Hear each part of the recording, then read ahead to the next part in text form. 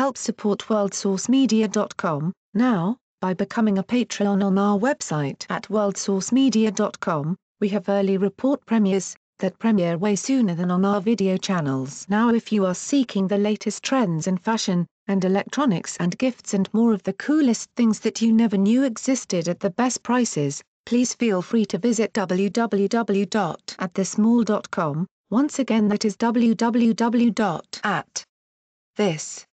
www.atthis.mall.com. Now if you are seeking the truth or guidance or need a prayer request or studies, please visit followyeshuanow.com at www.follow.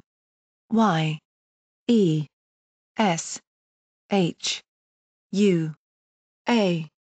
Now.com President Donald Trump is apparently quite jealous of former President Barack Obama's Nobel Peace Prize, which the former won in 2009 for extraordinary efforts to strengthen international diplomacy and cooperation between people.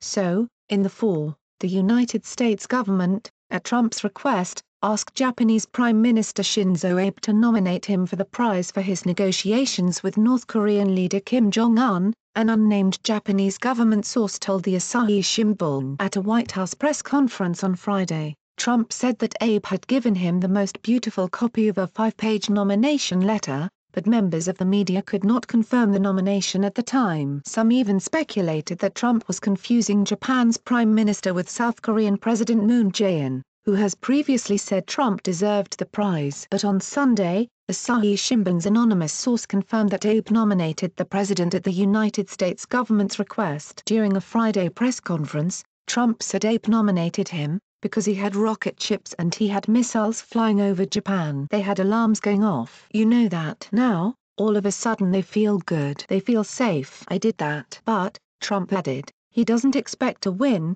many other people feel that way too. I'll probably never get it. That's okay.